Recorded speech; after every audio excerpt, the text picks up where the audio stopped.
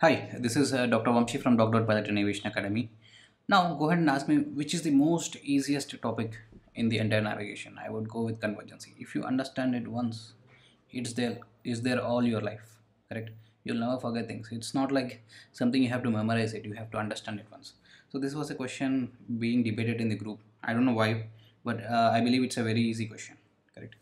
Now, I'll try this, I'll solve this question, correct? Like if you have any further doubts, you can ask me on WhatsApp. See, on earth, if this is north, if this is south, correct? Consider any direction, north is 0 degrees, from 1 degree to 179 degrees as going east. So if you go any degree at any angle, this is a this is going east. If your your track is going east, correct? So if you go from 181 degrees to 359 degrees, this is west. Thumb of rule or rule of thumb, whatever you want to call it. Next, northeast India if your track is a northern hemisphere if you are going east it increases. So that's why northeast India. If your track is in northern hemisphere and if you are going west the track will decrease. This is great circle track will decrease. Now if you change north to south and if you are going east the track will decrease.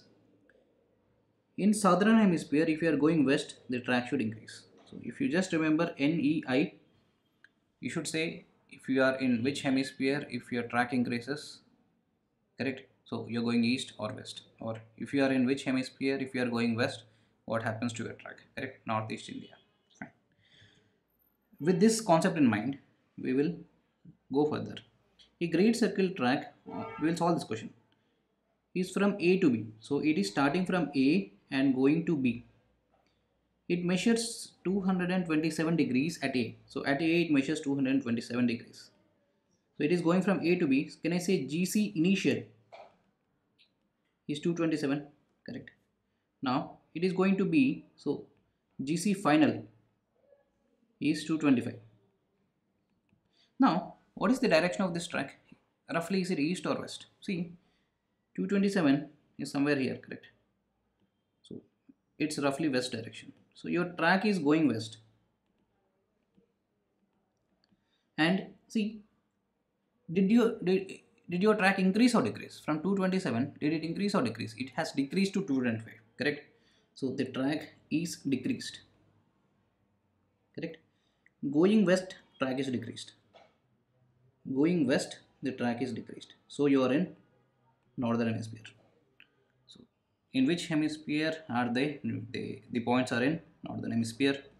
It is that simple. It will take only two seconds to solve this problem